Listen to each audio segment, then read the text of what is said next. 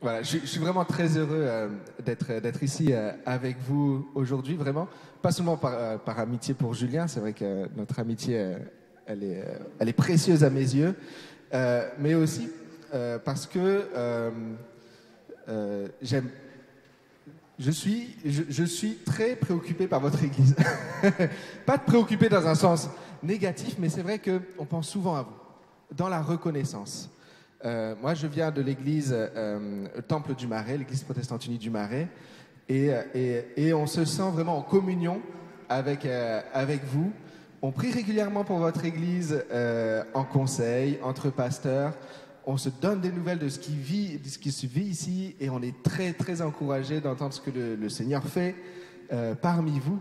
Et, voilà, c'est une joie de vivre un, un, culte euh, avec vous. Je suis très heureux quand Gonzalo euh, m'a fait parvenir votre invitation parce que c'est vraiment un bonheur euh, de vivre ce culte euh, avec vous. Alors, il paraît que dimanche dernier, vous avez parlé de sola fide, la foi seule. On, révise notre latin. Et, et la, la, semaine prochaine, de solus Christus. C'est ça comment Solo Christo Je sais plus. Solus Christ, Solo Christo. Voilà, ça fait longtemps. Donc la semaine prochaine, ça va être vraiment essentiel, le Christ. Et maintenant, on va parler de sola gratia, par la grâce seule. Ça fait beaucoup de seul. Par la grâce seule. Nous sommes sauvés par la grâce seule. Alors je vais vous lire un, un, un texte. J'ai oublié ma Bible, mais je vais vous le lire. Euh, je vais le retrouver ici. Euh, si vous avez une Bible, vous pouvez prendre à Luc au chapitre 24. Luc 24, les versets 36 à 53. Bah pourquoi pas, ma foi. Je vais lire Parole de vie. Luc 24, versets 36 à 53.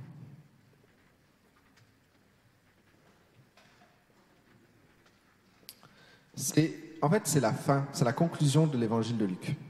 Voilà, c'est comme ça que l'évangile se termine. Euh, et donc, c'est juste après, juste après Pâques. Donc, pendant qu'il se dit cela, Jésus lui-même se montre au milieu d'eux, les disciples. Jésus se montre au milieu des disciples. Il leur dit La paix soit avec vous. Les disciples sont effrayés, ils ont très peur. En effet, ils croient voir un esprit. Mais Jésus leur dit, pourquoi êtes-vous troublés? Pourquoi pensez en vous-même, qu'est-ce qu'il se passe? Regardez mes mains et mes pieds, c'est bien moi. Touchez-moi et regardez-moi. Un esprit n'a pas de corps, et moi, vous voyez que j'en ai un. En disant cela, il leur montre ses mains et ses pieds. Les disciples sont pleins de joie et très étonnés. Ils n'arrivent pas encore à croire. Alors Jésus leur demande, Est-ce que vous avez ici quelque chose à manger? Il lui donne un morceau de poisson grillé. Jésus le prend et il le mange devant eux. Ensuite il leur dit, Quand j'étais encore avec vous, je vous ai dit tout ce que disent à mon sujet la loi de Moïse, les livres des prophètes et les psaumes, tout cela doit se réaliser. Alors Jésus leur ouvre l'intelligence pour qu'ils comprennent les livres saints. Il leur dit, voici ce qui est écrit dans les livres saints. Le Messie va souffrir et le troisième jour, il se relèvera de la mort. En son nom, voici ce qu'on annoncera à tous les peuples, en commençant par Jérusalem. Changez votre vie et Dieu pardonnera vos péchés. C'est vous qui êtes les témoins de cela. Et moi, je vais vous envoyer ce que mon Père a promis. Mais vous devez rester dans la ville en attendant de recevoir la puissance de Dieu. Ensuite, Jésus emmène ses disciples près du village de Béthanie. Il lève les mains pour les bénir. Pendant qu'il les bénit, il les quitte et monte auprès de Dieu. Pendant ce temps, les disciples l'adorent. Ensuite, ils retournent à Jérusalem, très joyeux. Ils passent tout leur temps dans le temple et chantent la louange de Dieu.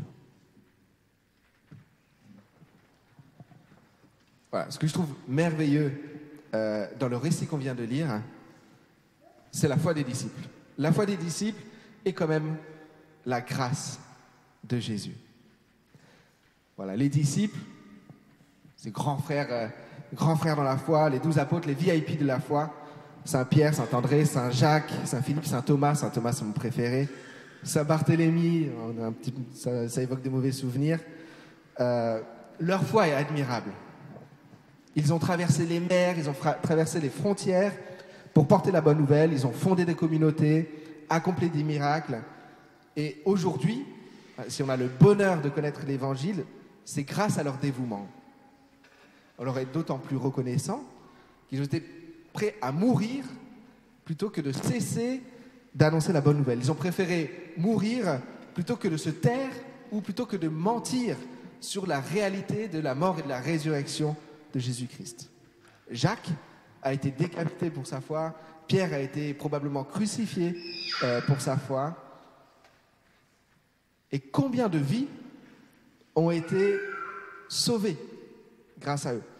Grâce à, en fait, à l'évangile qui sauve, à l'évangile qui redonne espoir, qui motive des gestes d'amour depuis 2000 ans. Notre dette envers eux, envers leur foi, les fruits de leur foi, euh, sont formidables. La foi des disciples est admirable. Elle est admirable précisément parce qu'elle ne vient pas d'eux. Cette fois, c'est la leur, c'est la leur, mais ils n'en sont pas les auteurs. Ce n'est pas leur idée à eux de se dire, tiens, je vais avoir la foi, ou je vais devenir chrétien avant que ce soit cool, comme ceux qui, achètent le, le nouvel iPhone avant qu'il sorte. La foi est un mystère quand même. Euh, au Temple du Marais, ces deux dernières semaines, en, très peu de temps, on a eu des récits incroyables des gens qui ont la foi aujourd'hui, mais que rien ne disposait à ça.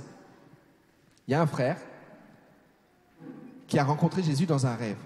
Rien ne le prédisposait à ça. Il était juif, pratiquant, il ne s'intéressait pas à Jésus, et ça lui a fait une drôle de surprise quand Jésus, dans un rêve, lui est venu le voir et a suscité en lui la foi.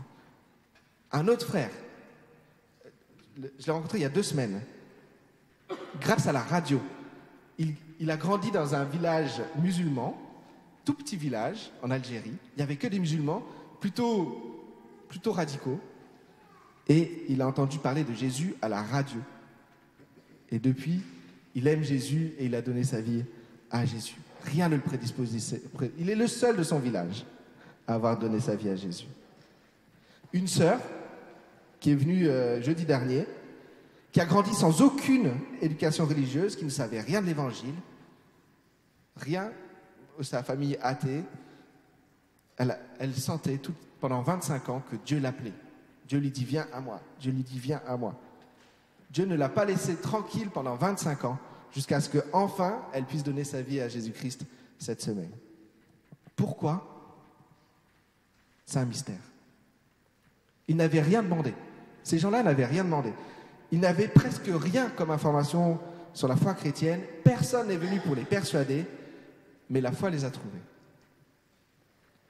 Par contre, dans notre récit, celui qu'on vient de lire, les disciples à la foi si exemplaires dont je viens de faire l'éloge euh, de la foi, ils nous surprennent aussi, parce que si on regarde un peu plus près, bon d'accord, Christ est ressuscité, c'est incroyable, c'est vrai, c'est incroyable.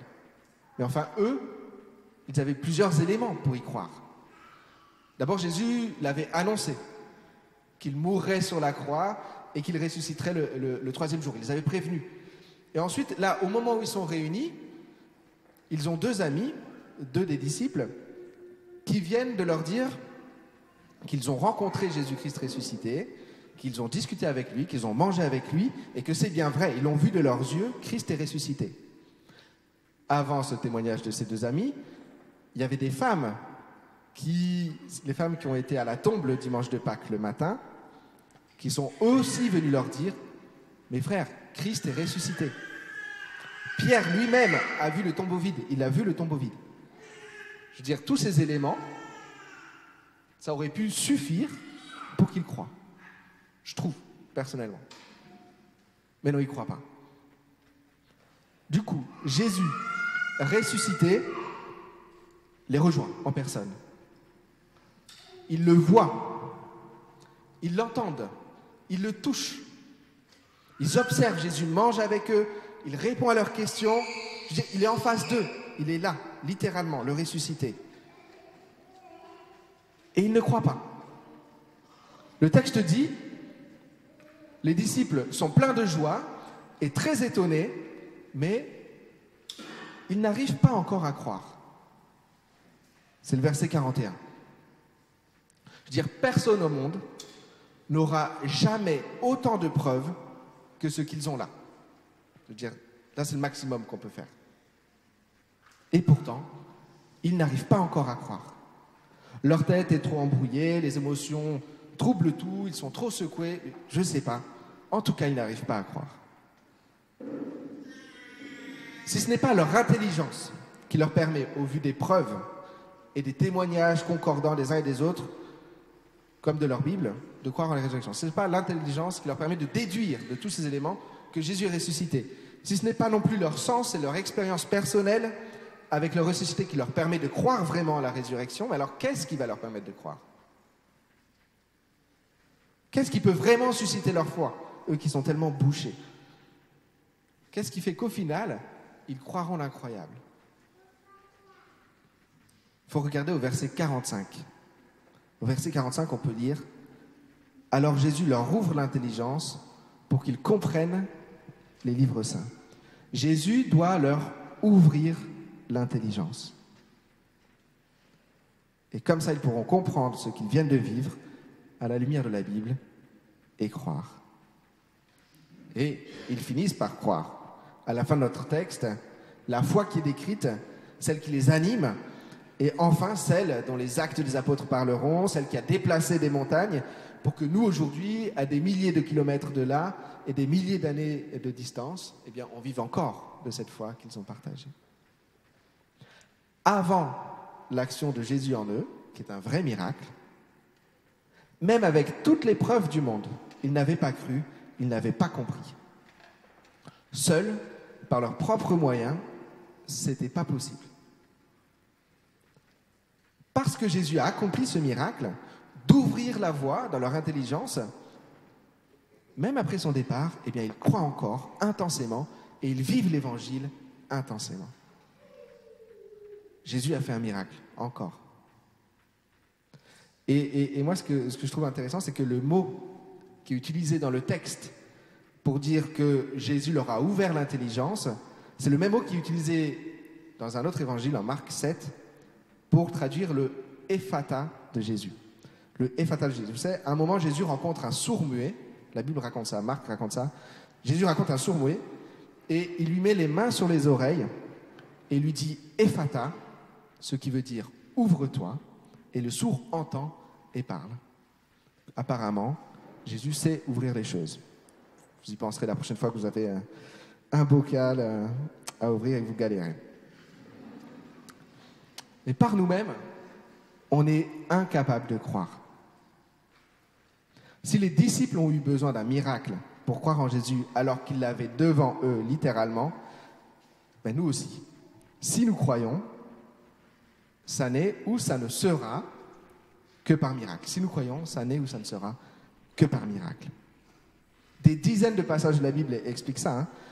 Mais je voudrais encore prendre un autre exemple concret pour enfoncer un peu le clou, celui de Lydie. Dans les Actes des Apôtres, chapitre 16, on peut lire, c'est un apôtre qui raconte, comme si c'était un journal.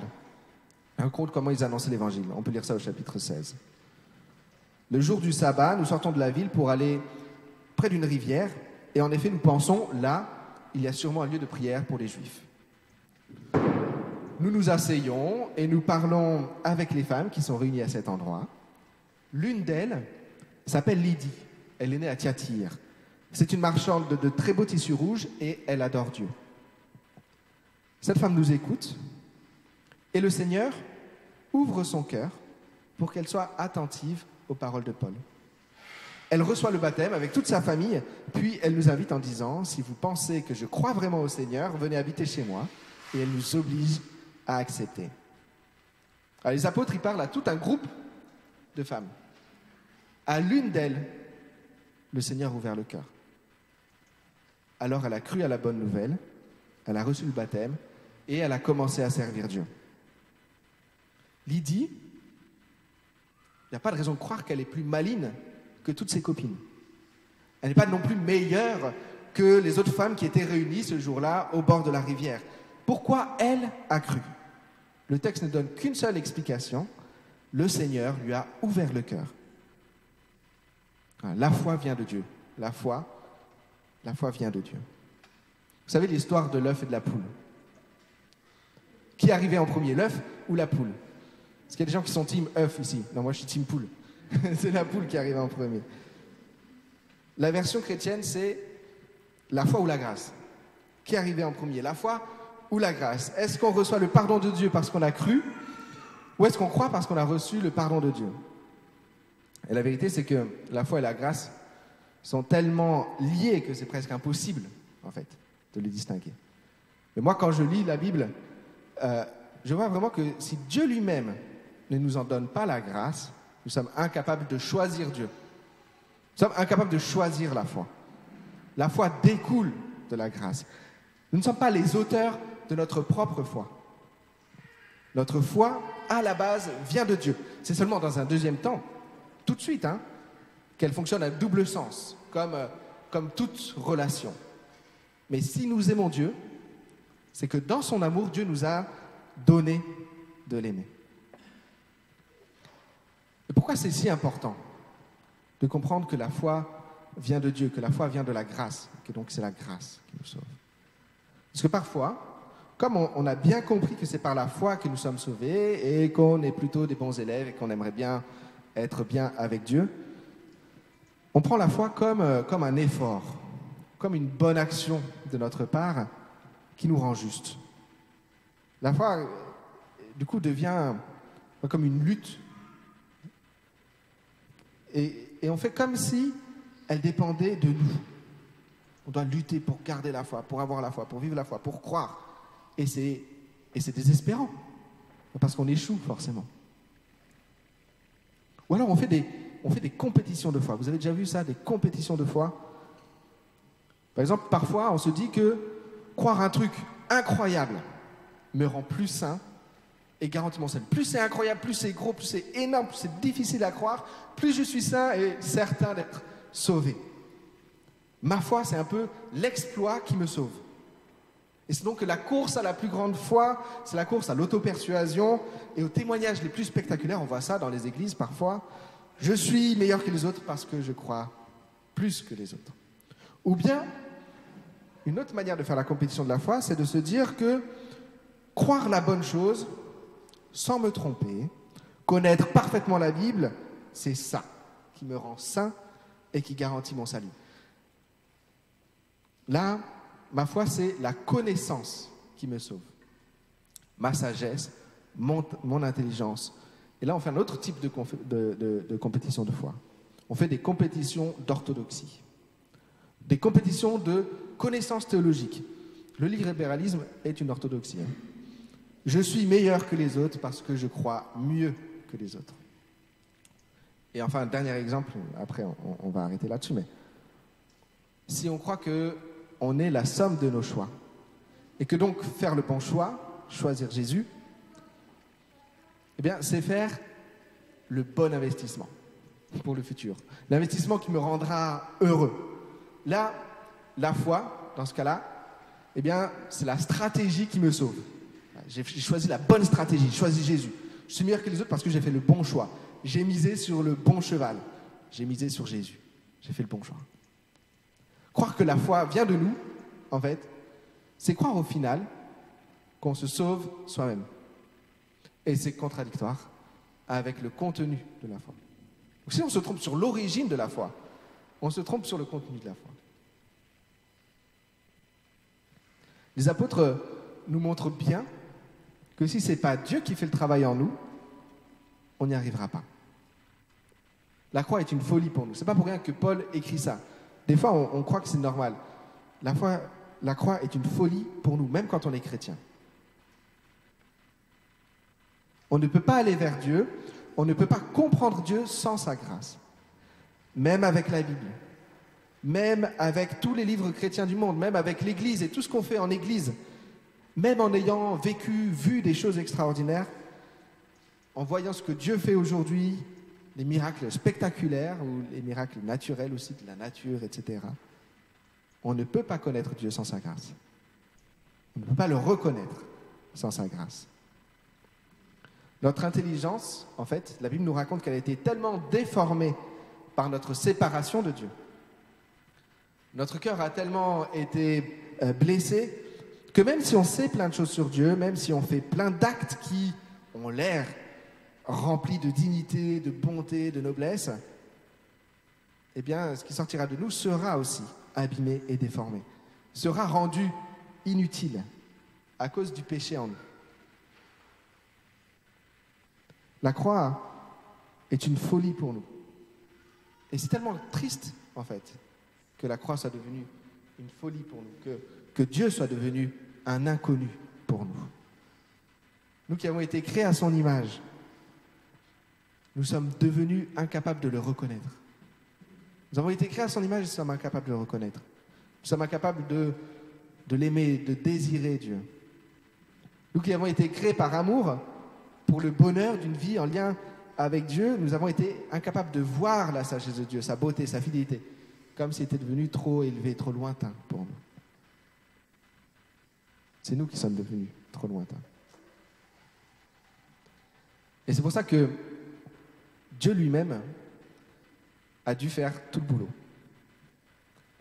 Nous étions aveuglés, perdus, désorientés, comme dans une tempête. Moi, j'imagine quelqu'un dans l'eau, dans l'océan, au milieu d'une tempête avec du brouillard. Nous étions déjà morts à une vie véritablement bienheureuse, déjà morts à une vie véritablement libre de tout esclavage. Nous étions déjà morts à une vie marquée par la fidélité et à l'efficacité de l'amour. Mais Dieu a envoyé son Fils unique pour nous chercher et puis pour sauver ceux qui étaient perdus. Ils n'étaient pas à moitié perdus, on était totalement perdus. En donnant sa vie sur la croix, il nous a libérés des entraves de nos mains, il nous a libérés des baillons sur nos bouches, des bandeaux sur nos yeux, des bouchons dans nos oreilles. Et aujourd'hui, par son esprit, par son esprit, dans sa grâce, il nous saisit, il nous dit, cette bonne nouvelle, elle est pour toi. J'ai donné ma vie et c'est bon pour toi. Tu peux redevenir l'enfant de Dieu. Tu peux redevenir vivant. Tu peux naître de nouveau à la lumière cette fois-ci. Aujourd'hui, par euh, son Esprit Saint, à toi comme à d'autres avant toi, comme euh, pour les frères et les sœurs que j'ai cités au début de, mon message, sans que tu les méritais. Juste par amour, parce qu'il t'a choisi, parce que tu as de la valeur à ses yeux, parce qu'il désire que tu vives près de lui. Il pose sa main sur ton cœur et dit Ephata, ouvre-toi. Vois la croix, vois mon amour. Ouvre les yeux sur mon pardon. Vois le tombeau vide. Vois ma puissance. Vois ta vie éternelle. Vois enfin qui je suis. Réjouis-toi. Crois et réjouis-toi. Crois et sois heureux. Ephata. Ouvre-toi.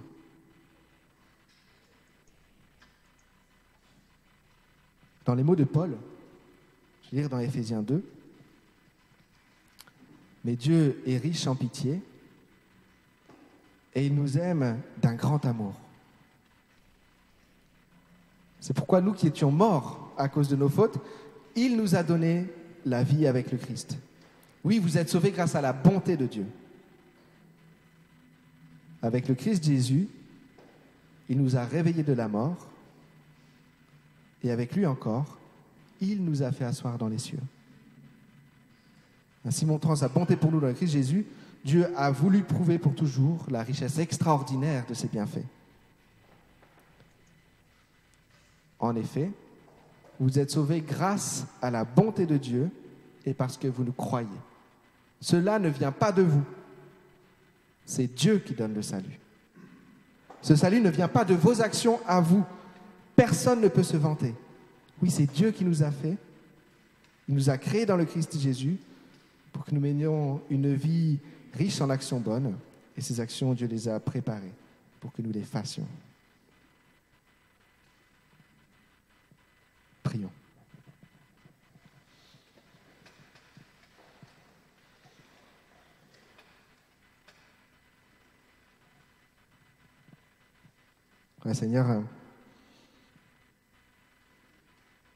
Je suis né et je n'ai pas demandé à vivre quand je suis né. C'est toi qui m'as appelé à la vie. C'est toi qui m'as créé dans ton amour. Et Seigneur, c'est toi qui me sauveras. C'est toi qui me feras naître de nouveau. C'est toi qui me donneras une nouvelle vie avec toi, dans la liberté et la confiance que donne ton amour. Seigneur, merci pour la grâce que tu nous donnes par Jésus-Christ. Merci parce que parce qu'il a donné sa vie sur la croix. Nous avons l'assurance que en lui plus rien ne peut nous séparer de toi. Seigneur, à, cause de la grâce qu'il nous dit, nous venons à toi. Parce que nous avons tout à recevoir de toi. pardon. Pardon pour, euh, pour l'orgueil d'avoir vu ma foi ou d'avoir vu le bien que j'ai pu faire comme des œuvres de ma propre sagesse, de ma propre bonté. Pardon. Parce que ce sont les fruits de ta bonté. C'est par ta grâce seule que je crois. C'est par ta grâce seule que je suis sauvé. C'est par ta grâce seule que je peux aimer le monde. Parce que Jésus est mon salut, je ne veux plus lutter pour croire. Je veux juste implorer ta grâce et m'abandonner dans tes bras de Père. Que ta grâce me tient. Merci Seigneur pour ta bonté. Au nom de Jésus. Amen.